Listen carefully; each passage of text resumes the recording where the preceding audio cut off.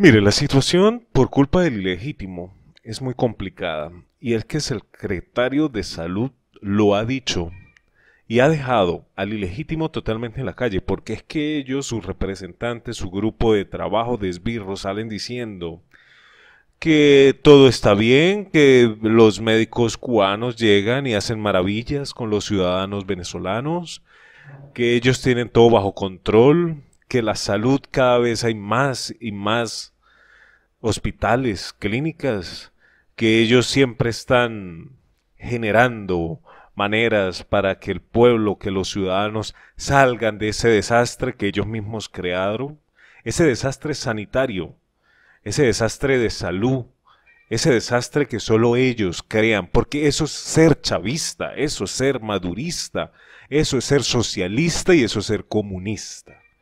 Crear un desastre para ellos poder vivir en la opulencia, mientras los ciudadanos venezolanos viven de la peor manera pompérrima y esto lo explico o lo explica ahorita el secretario de salud, que lo vamos a escuchar en un momentico, dando las declaraciones como son. Porque el ilegítimo se ofana, sale diciendo, exaltado, totalmente diciendo que ellos tienen todo muy bien, que los ciudadanos están bien, muestran imágenes de gobernadores como la Cava llevando presuntas medicinas en un carrito y, haciéndose publicidad diciendo, no, esto vale la calle tanto. Pero vale tanto ¿por qué? ¿Por qué vale tanto en la calle? Porque ellos mismos crearon todo este desastre económico en el área de salud que no se encuentra absolutamente nada. Y después ellos tratan de resolverlo regalándole migajas al pueblo con medicina de migajas. Y eso es lo que hacen. Es triste pero es una gran verdad que está aconteciendo en el área de la salud de nuestro país Venezuela. Y sí, Nicolás es el creador de todo esto. Yo sé que es una paradoja decir que ellos destruyen todo y después que crea. Sí, crea destrucción.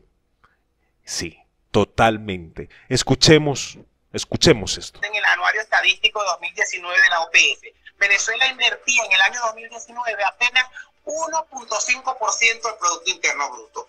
Tú te enfermas en Venezuela para lo que vaya a un hospital y cada persona tiene que poner de su bolsillo el 70% de los gastos. Entonces, no hay quien pueda con eso. Y en los hospitales grandes, como el hospital que somos centros de referencia, que recibimos gente de todo el país, esa gente es pobre, como casi todos, pero ellos están paupérrimos tienen que llegar a una ciudad desconocida, a un hospital inhóspito, aunque diga hospital, y segundo, tienen que pagar comidas, exámenes, entonces no les alcanza, entonces se convierten los hospitales en un depósito de seres humanos. Esas son las tres cosas que yo haría y después, bueno, implementar. Y si se puede, claro que se puede, pero hay que tener voluntad política, por lo menos cambiar la política de salud que no se hace. ¿Se dan cuenta lo que estoy diciendo? Mire, yo no tengo que expresarme más ni, ni llevar más lejos la noticia a 10 minutos, 15 minutos, 20 minutos. Si lo que se dijo se dijo en 45 segundos, 50 segundos. No hay más que decir. Solo ayúdame a compartir, multiplicar y extender y hasta una próxima.